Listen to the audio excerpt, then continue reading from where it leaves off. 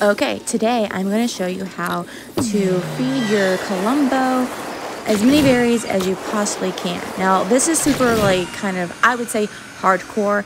I was not trying to play a game when I first landed. All I cared about was getting those berries. So I had this on super high mode. If you land over there by the Joneses, there are three bushes, I believe. So that is what I'm trying to get here and it's a pretty dedicated play. Um, there was a couple matches where I landed, someone landed with me, and they killed me, and I just didn't care. I wanted to stack as many berries as I could, get to the dinosaur, feed him, so I could get this quest completely done in the 20 stages.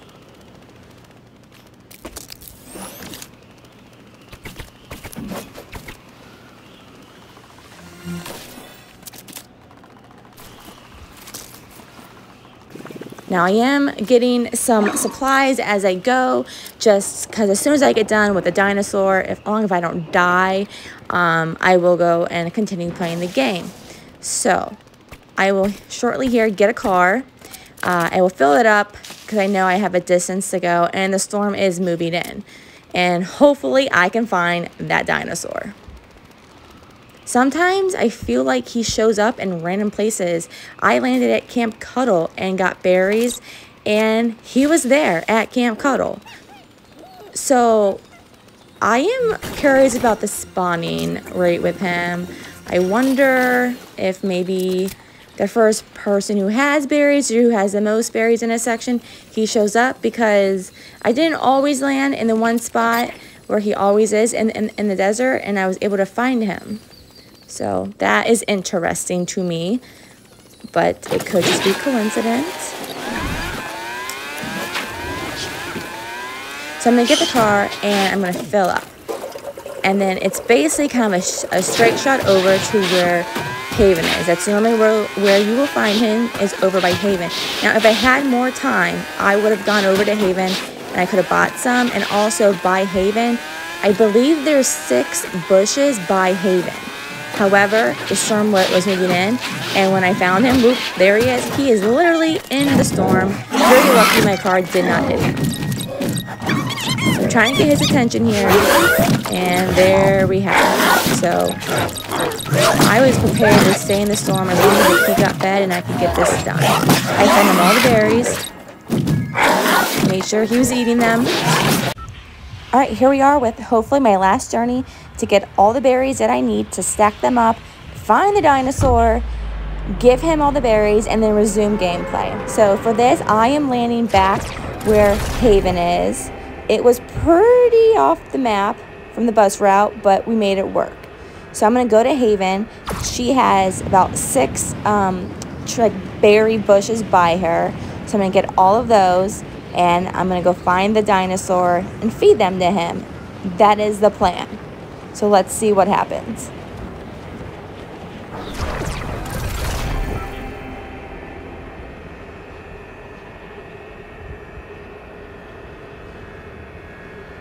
It's taking so long to land because I was very much so off the bus trail. But I was dedicated. I wanted to stack this and get this done.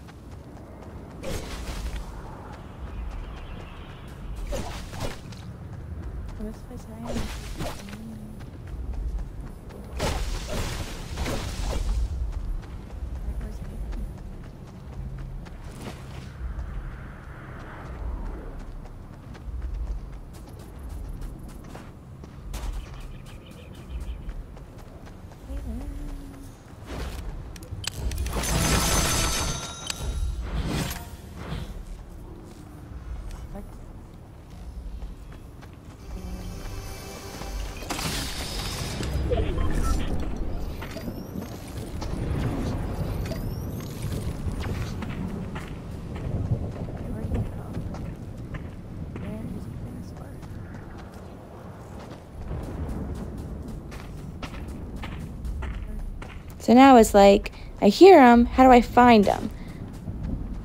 I feel literally blind.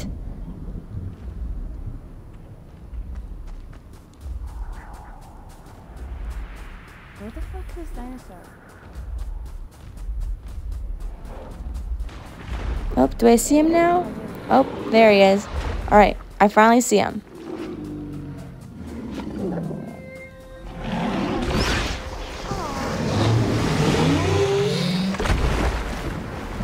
He's so cute. He's such a, he reminds me like a cute little puppy dog. All right, so we're gonna get him his berries. Hopefully no one shoots me in the process. Always a main concern. I love when he somehow brings in legendary guns. But I don't love it when he sucks them back in. Alright, let's give him these berries. We're to stack them.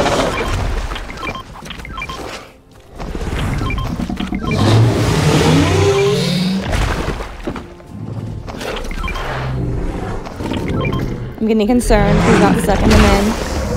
Getting a little concerned here. There we go, there we go. Okay. Come on, a little bit more.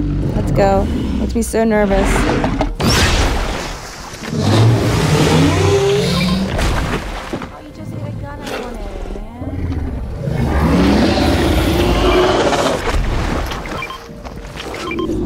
All right.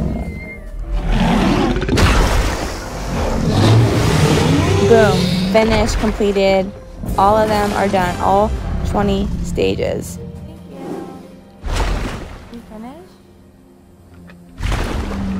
Now, this part I never knew about is when you get on him, which I, I'm on the struggle bus here, I tried building and then I end up walking up his tail. But his blowhole, okay, which is now, we now it's, we're in week eight, believe it's week eight, and one of the tasks is, you know, glide 150 meters from his blowhole.